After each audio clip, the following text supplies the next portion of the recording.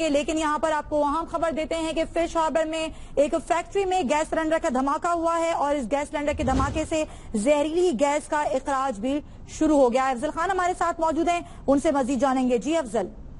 ये देखें, Korangi fish harbour में जो है वो एक फैक्ट्री के अंदर ये वाकया पेश आया है, जहाँ पर इब्तदाई तौर पर बताया जा रहा है कि एक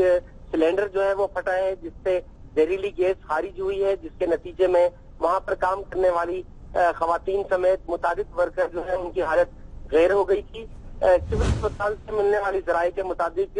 तीन खातन जो कि बेहोश हो चुकी हैं उन्हें अस्पताल मुंतकिल किया जा रहा है यूनिवर्सिटी के ज़रिए और इस तो वहाँ पर इमदादी काम जारी है ताकि जो दिगर अफराद वहाँ पर